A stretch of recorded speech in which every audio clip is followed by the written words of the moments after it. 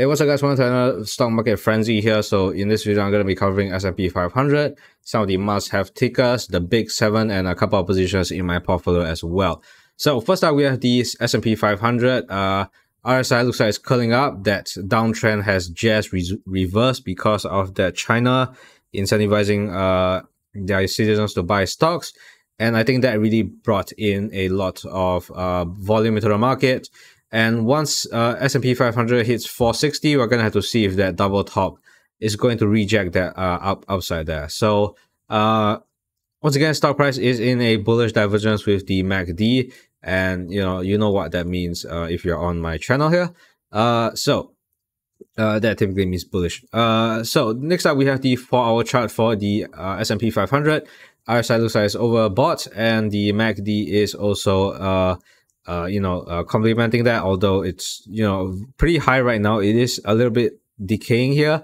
But I think uh, the market looks bullish once again. I know I said this uh, one or two days ago as well, but we just crossed that 200 MA on the four hour chart, which I think we were looking at.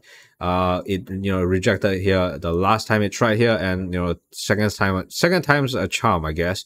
Um, and right now I don't think we are going to have a, a you know a very strong bearish correction here. I think what's going to happen is that we'll probably maybe bounce up here and uh probably go to 460 don't follow that line. It's just what i think. Uh and yeah if that happens then we'll see if the S&P 500 is going to you know hit that double top and reject that or we are going to break out of that 460 chart uh which would be extremely extremely bullish uh, a lot of people are expecting only 470. Uh, so that might actually be a bad sign. If we hit that before December, it is possible we might not be able to get a Santa Claus rally, but uh, we'll we'll see, we'll see. Um, I'm not trying to predict anything, but just what I think. Uh, next up we have uh Dixie here, or DXY, and we have this chart pattern where uh, it is uh curling towards that downside, and yeah, RSI looks like it's curling up here. Um, this is pretty weird. Uh, I, I think what we are seeing right now is that both the S&P 500 and the DXY is um, moving in the same direction. And I think that's possible if, you know, China incentivized uh, people to buy stocks and, and people, you know, buy dollar as well, just to buy stocks or something. Uh, I'm not sure if that's economically correct. I, I you know, I, I don't necessarily have the experience. Hopefully someone else knows better than that.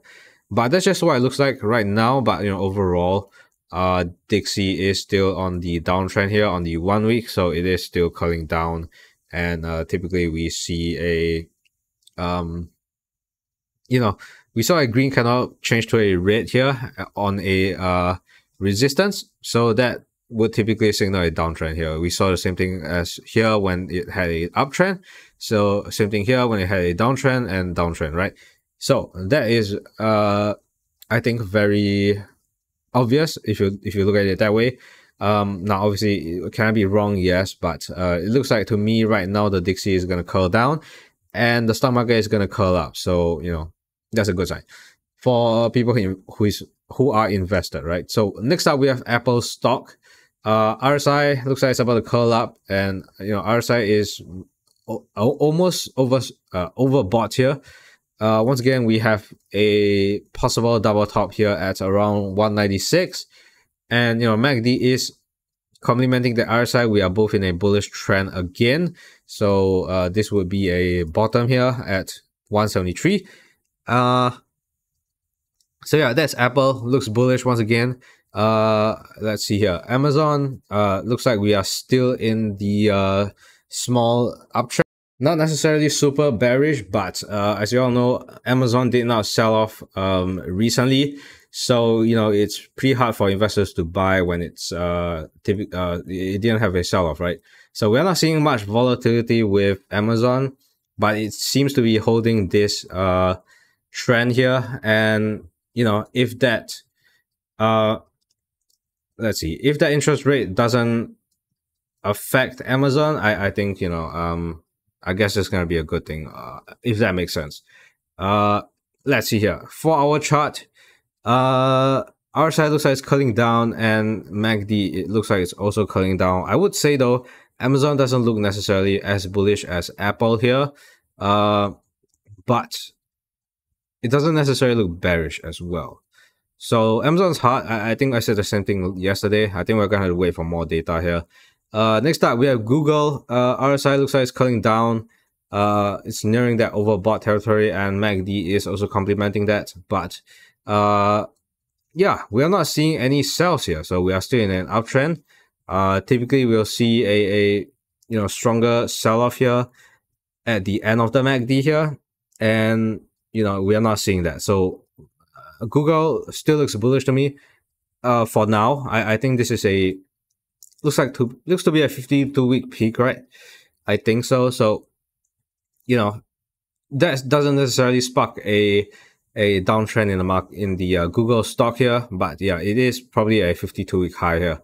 Uh, next up, we have Meta, uh, one of the stocks I don't really cover here. Uh, let's go to the one week chart here. And once again, that downtrend has already reversed here. Uh, we are still in a bullish divergence with the MACD on the one week chart. And let's see here, uh, four hour chart. Uh, yeah, I, I don't think this looks very good. I, I think that RSI is about to cross here.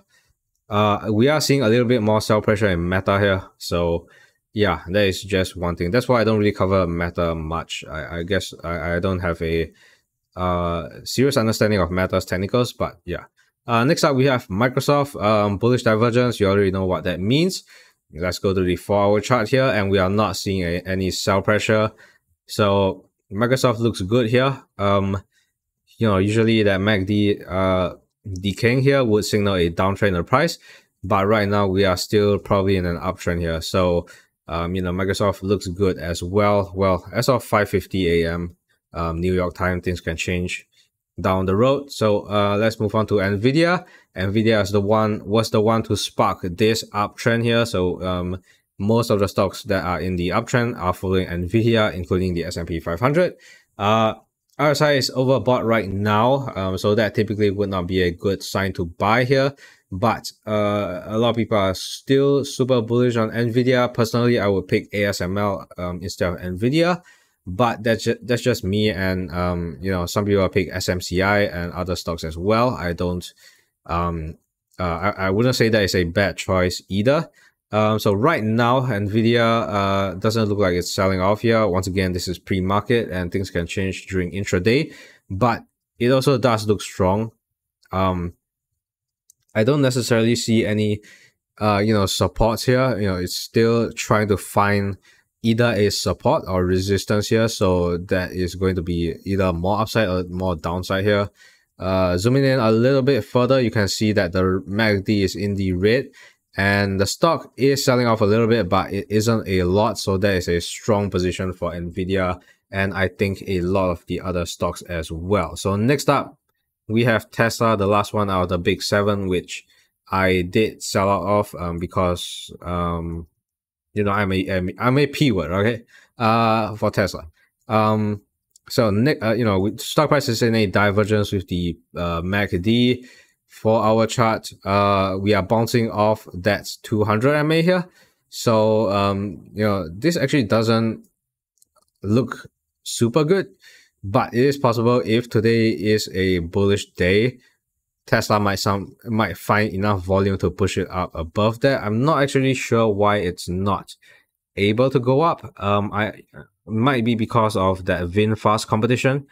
Uh, yeah, that could be a very possible um thing here. Uh, so VinFast is a car company from uh, is it Vietnam? Yeah, Vietnam. Uh, and you know, people have very high hopes for it. And it is possible some people in the Tesla community are buying uh, VinFast or selling their Tesla stocks, stocks for VinFast. I'm not exactly sure, but it seems like Tesla doesn't have the volume to break out of um, this uh, 200 MA here, which is a bad thing if we curl back down. Now, it is possible we find a, a second chance to cross here. Uh, maybe we need to find another bottom here. It is possible that the bottom could be uh 242 here. Um, so we'll see if Tesla gets back there. Uh, you know, it, that, that would require it to move against the big seven and the uh, S&P 500, which is a tall order to ask. But that's just why I'm seeing it with Tesla, right? So, uh, I think that con- concludes the end of the S&P 500 and the big seven. Uh, if you guys are not interested in my portfolio, then you can, uh, I will suggest you guys leave as well. Uh, I'm not actually sure what I want to go through here. Let's go through Kenvue. Kenvue, uh, no, that's speculative. Um, let's go through ASML. Uh, once again, ASML looks like it's in a, I would say convergence. I wouldn't necessarily say this is a bullish divergence. And, uh, it is going to take more time than NVIDIA to, uh, I, I, think get volume here. And, uh, let's see here. Uh they have earnings in 48 days so that's another seven weeks right? I i didn't do well in math. And yeah we're gonna have to wait for that. Uh let's see here. Do we have any sell pressure right now? Doesn't look like it. I think it's very similar to the rest of the big seven here um i, I think that ma is tangled right now. We are gonna have to wait for a, a more uh you know either upwards or, or downwards direction move here. Uh so yeah that is asml let's go to paypal next. Uh let's see here. Paypal is in an uptrend right now. Uh the four hour rsi is at oversold right now so that is a little bit concerning if people are actually bullish on paypal um which you know they, they will know it uh, well, we'll know it in the next couple of days here. So um, this is the one week chart here. Uh, looks like it's about to curl up to that green MACD. We're gonna have to see how well it does when it actually crosses there. If it breaks out here, then we'll likely see 72, I think, or at, at least 70 um, in the next week.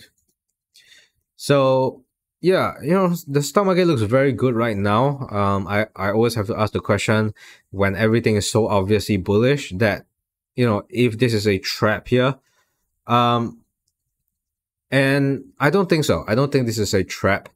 Uh, I, I think, you know, I, I think maybe the, the volume has come back here and we should either stay flat or buy out all the way um, in September and we will get an October.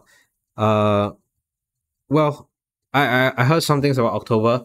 Um, you know, there were two crashes, huge major crashes that happened in October.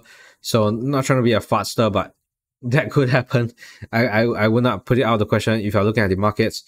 Overall, it's so blown up right now. Um, bad things could happen in October, which, uh, yeah, so if anyone's still watching, um, mark your calendars for that. Um, on the one week chart here, we have the RSI. Looks like it's about to curl up. Uh, MACD uh, is decaying towards the upside. So it looks like we are finding some sort of support with Enphase as well. Um, red MACD, not exactly too much selling. It's still in a downwards direction, but we did see a engulfing candle here. So that would typically signal an uptrend, but uh, you know, this is Enphase, And people, well, investors don't necessarily like the stock. So lastly, we have SolarEdge here. Um, let's go to the one week chart. Uh, SolarEdge RSI um, bottoming out here at 30, uh, well, 30 on exact here, 30.03. Uh, MACD is decaying towards the upside here. So we are seeing a pinkish MACD so we are seeing some sort of buy volume here. Um, I, I said on technical recap, if uh, SolarEdge can trade between this two support levels, that would be good.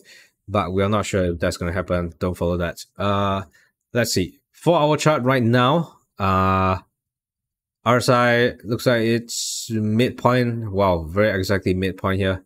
Um, so we, we literally have no idea where the Darshan is on SolarEdge. Um, yeah, we're gonna have to look at more news on energy and solar. I think energy right now is pretty low, and the fact that the interest rates are so high means that there are less home buyers, and when that happens, there is typically less solar. Uh, solar, you know, people installing solar on their homes, and that's why Enphase and SolarEdge are down so badly. So with that being said, thank you guys for watching. Um, have a nice one out there. Stay safe on the markets. We look very bullish right now, but this could be a trap. I just want to say that on the uh, the you know the end of the video. And one more thing, I did borrow two thousand dollars to a friend. So I, you know, what I told him was that um, he has four weeks to uh, repay me. Uh, no, wait, four months to repay me. So you know, he's currently in the army right now, and uh, I, I don't necessarily trust him, but hopefully I did the right thing there you know, $2,000 is still a lot of money to me, despite me being a trader. I have to use money to make money and I am giving up that opportunity to help him, which I haven't talked to him in like five, six years. And he wasn't necessarily a very good friend of mine. He was just a, an acquaintance, but I, I hopefully I did the right thing there. And, you know, uh, no good deed comes unpunished, but, you know, we'll see. And as always, guys, like and subscribe.